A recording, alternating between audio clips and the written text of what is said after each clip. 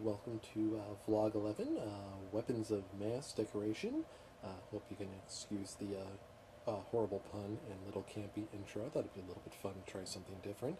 Uh, what you're looking at here is some basic weapons for the party. we have two fake plastic butcher knives and a cleaver. Pretty much run-of-the-mill cheapy kind of stuff. I think I got pretty much everything we see here for about three bucks total.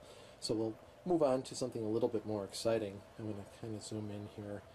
This here is uh, the bladed weapon, which was supposed to be like a uh, kind of like a straight razor kind of thing with a kind of a grungy, corroded casing and some bloody, uh, you know, blood marks on the blade itself.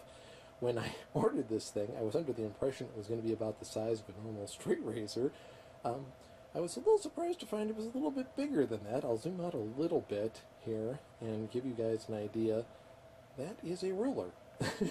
this was a little bit bigger than I thought it was going to be. It is probably uh, fully extended, about two feet long.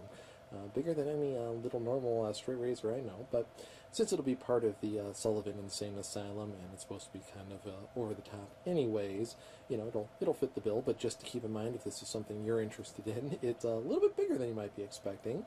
So we will move on over here to this uh, saw looking weapon, which is pretty cool.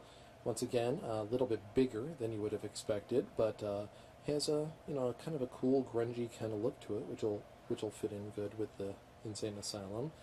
And this is the wrenched weapon here, which is uh, just kind of like a rusty old wrench. And it's kind of cool. It's got a little couple strings hanging there with some teeth attached to it.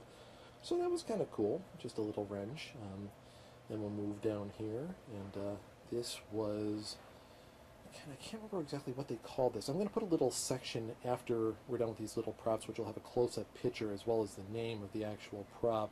It was kind of, I think it was called like Ripper or something along that line, um, but just kind of like a curved handsaw kind of tool. So that was kind of cool. And then here we have another uh, various kind of little weapon. I think it was called like the hand-chopped weapon, something like that once again.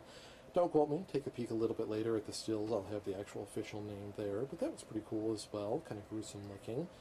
And then, last but not least, for right now, we have the giant uh, tenderizer weapon, which is kind of like a giant version of a cleaver. And just to give you like a little bit of a an example there of what a normal, that's a normal kitchen butcher knife sitting above it to kind of give you a little frame of reference as to the size of this thing.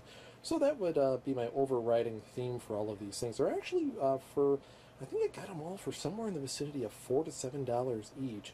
So they were all actually really cheap. So the size of these things, and I wouldn't say they would probably hold up to a lot of abuse. They don't seem to be real sturdy, but you know, just the looking at kind of some of the detail on there, for a real cheapo kind of prop, they actually did a pretty good job of you know getting a nice little grungy look, and there's some bones hanging from that one.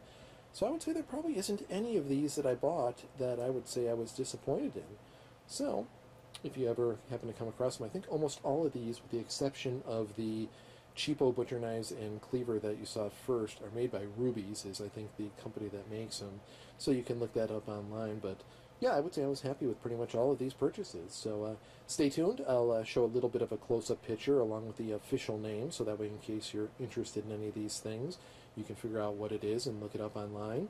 Uh, also stay tuned. Um, there's probably about, I would say, maybe in the vicinity of four to six more of these kind of things that I'm looking to get before Halloween, waiting for things to come back in stock or the right sales, that sort of thing. So stay tuned. Uh, we'll have a part two of the WMDs video coming up shortly. Thanks for watching. Bye-bye.